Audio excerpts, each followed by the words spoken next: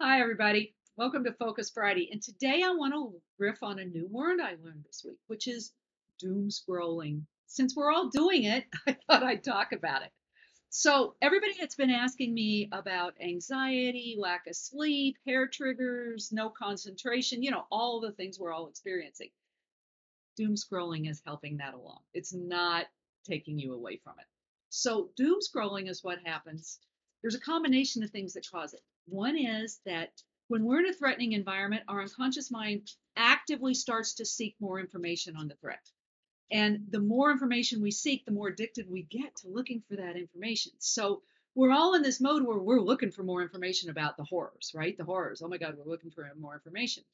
Now, we're doing that on digital screens. And the challenge is that digital screens are designed in their pixel refresh rates so that in four to five seconds, you're actually in a light hypnotic trance. I'm a trainer hypnosis, so I can I, trust me, that's true. And what happens is you're on this digital screen, whether it be a computer or your phone or whatever. You're so you're getting into a hypnotic state, a hypnotic state. Your mind is actively seeking negative information, so it's scrolling, scrolling, scrolling, and now you're imprinting into your mind hypnotically and in a trance, like trance, where you're very highly suggestible even more of the negative horror that is our news today. That is not healthy. All right. That combination is not healthy. And if you wonder why, you know, we're all more depressed and all the things were happening, a lot of it's because of that. All right. So we're spending more times reading news sites than ever before. You know, even as the news media is making sensational headlines, making them more and more sensational to get above the noise that is rising. So here we are being shocked into fear and threat by these headlines, diving into them on a digital screen where we're being hypnotically imprinted.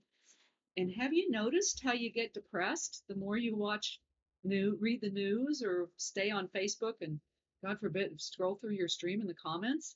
You know, even if you read a variety of news sources, it's still depressing, right? Now, I did a little experiment this week and I paid attention to how I felt when I woke up first thing in the morning. And then I how I felt after 10 to 15 minutes scrolling through Facebook and skimming my my news channels. Interestingly enough, my blood pressure went up 15 points in that amount of time. My heart rate went up by 10.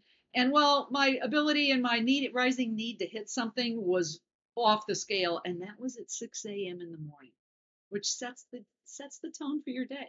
That is not good no matter how you look at it. That is not going to help your mental wellness, mindfulness, health, or well being. So I created a new set of rules for myself. And I'm going to share those with you as some suggestions. But before I do that, I want to remind you what you pay attention to defines what your unconscious mind thinks you want to experience in the world. Your attention creates expectations, and your expectations become what you experience because your unconscious mind is filtering your reality and selecting what you will experience every second of every day. It gives that experience to your conscious mind. So that begs the question, you know, if you know that what you're paying attention to is what you're going to experience, is what you're reading out there really what you want to experience in your life right now? As curious and addictive as we all may be, I just think the answer is no, because that is not what we want to experience. I don't know about you, but I want peace, harmony. I want to be focused on my future goals and what we're going to do beyond this and how I'm going to get past this, not reading the constantly more and more bottom feeder comments, news, posts, you name it. And I'm not saying there's not great stuff out there. I'm just saying the ugly stuff, right? So here's what I'm doing to take control. All right. First of all, I'm deciding when I want to be online, and that's the only time I'm online. And I know we all say we do that, but you know what? It's really hard to do. Don't cheat, set your times, and stick with them. Now, the second thing I'm doing is I'm paring back my stream in Facebook. I'm also paring back my news media channels so that they are only the middle of the road channels. Associated Press, Reuters, Bloomberg, BBC, offshore Al Jazeera, you know, the offshore media and the the core news media that's balanced, not left or right. I am not reading the left or right anymore because it's nothing but propaganda. All right.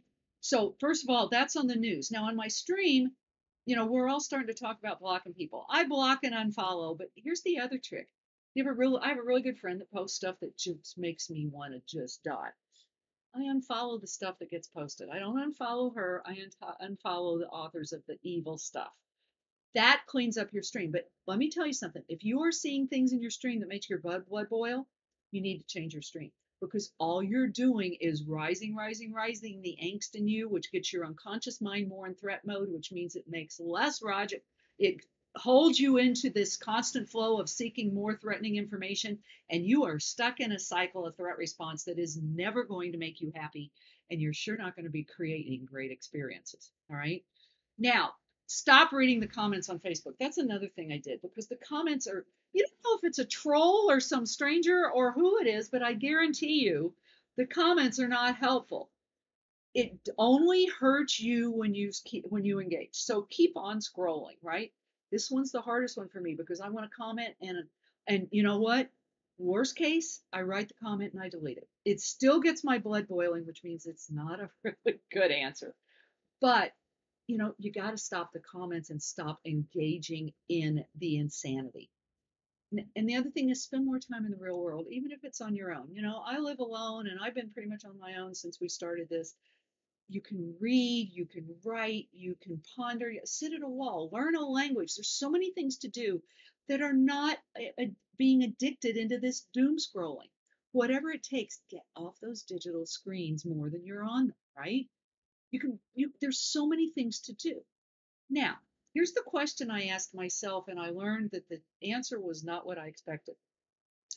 Do you believe you have to fix the folks who have different opinions? Well, that my answer was yet. As much as we don't, I, I truly believe I have a right to and my opinion and you have yours. I don't believe you have a right to force your opinion on me. But what I realized was I was getting righteously indignant about the opinions, and I had to go set them straight. Not my job. Not your job either. My job is to keep myself and my spirit focused on what I want, same as yours is. And it's nearly impossible to do and be focused on you when you're fighting with someone who doesn't see your way or your point of view and it's just escalating. So stop it, right? I know we're all supposed to share. Share happy things and stop trying to fix the world, all right? Now, I stopped doom scrolling about 10 days ago, and let me tell you the difference. It's amazing. I'm not angry first thing in the morning, which sets the tone for my day. I'm not angry. I don't have that negative self chatter and angry chatter, and I'm going to, I'll do this and I'll fix him, and I should tell him this, blah, blah, blah. That's all gone which means I have a peaceful mind. I'm focused much more intently on my own health and my life, not what's around me in the world. I am controlling my world, not the world controlling me.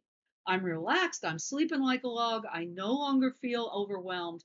And I know that I'm creating my not a reality that's being served to me by politicians on either side, foreign governments, whoever they are, media of all flavors, and just plain opinionated people who may or may not have a clue what they're talking about.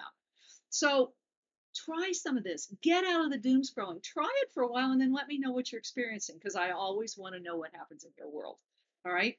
And remember, above all, pay attention to your attention. All right. Have a great